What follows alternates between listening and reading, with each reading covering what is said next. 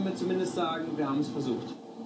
Und das hier ist das, woraus sich die Bonaventuras ihren Traum formen. Eiscreme italienischer Art aus eigener Herstellung.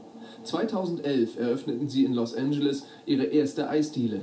Die Idee dazu kam ihnen auf einer USA-Reise. Wir waren oft im Urlaub gewesen in Kalifornien und haben immer gedacht, was, was, was können wir machen? Hier wäre doch klasse es zu leben. Und uns aufgefallen, wir, als, wir mögen auch gerne Eis, hier gibt es kaum Eisdielen oder richtig gutes, so wie wir in Deutschland kennen. Und haben gesagt, Mensch, das wäre doch eine Möglichkeit. Einer aus meiner Familie hat eine Eisdiele in Italien, Gastronomie kannten wir. So war die Basis erstmal gefunden.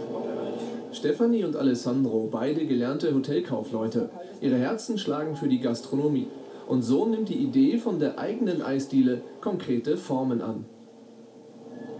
Ich bin nach Italien gegangen, da gibt es sogenannte Eisschulen, äh, Gelato Universities, wie sie sich nennen, und habe mich dort trainieren lassen und schulen lassen. Und dann sind wir mit diesem Wissen, sie kommt aus dem Marketing, hat den Businessplan mit aufgebaut und so kam eins zum anderen.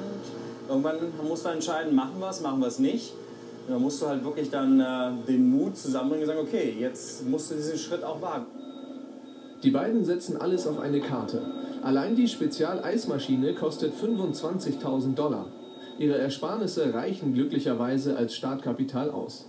Sie suchen einen geeigneten Standort für ihre Gelato Lounge und legen los.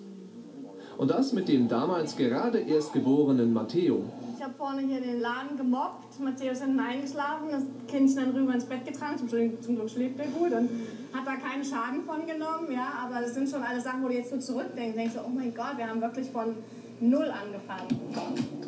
Die Arbeit zahlt sich aus. Inzwischen verkaufen die Bonaventuras ihr Eis nicht mehr nur in ihrer Eisdiele, sondern beliefern diverse Restaurants im Umkreis. Die Lieferung heute der Kunde hat ungefähr eine Variation von 10, 12 verschiedenen Eissorten, die auch immer wechseln. Und hat heute, ich glaube, wir haben so 10, 12 Einsätze Pans hat er bestellt.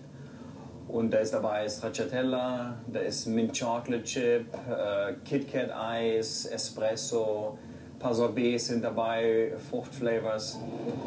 Ihre Freunde und Familie vermissen der 42-jährige Alessandro und die 37-jährige Stephanie schon, sagen sie und ein wenig auch das deftige deutsche Essen. Aber zurück nach Frankfurt, das wollen beide auf absehbare Zeit nicht. Zu viel Spaß macht's ihnen, ihr eigenes kleines Unternehmen zu haben. Erst recht, wo ihr Geschäft derart floriert. Erst vor kurzem haben die beiden ihre zweite Eisfiliale eröffnet. Und das in einer sehr beliebten Lage in Los Angeles. Manhattan Beach ist super bekannt. Es gibt eigentlich eine der wenigen, sagen wir mal, Lauflagen, die man hier in Los Angeles hat. Ansonsten fährt man ja immer nur. Aber hier ist ein Restaurant neben dem anderen und es geht direkt runter zum Strand. Gerade in den Sommermonaten ist hier super viel los. Also es ist schon richtig, richtig, richtig super Location hier.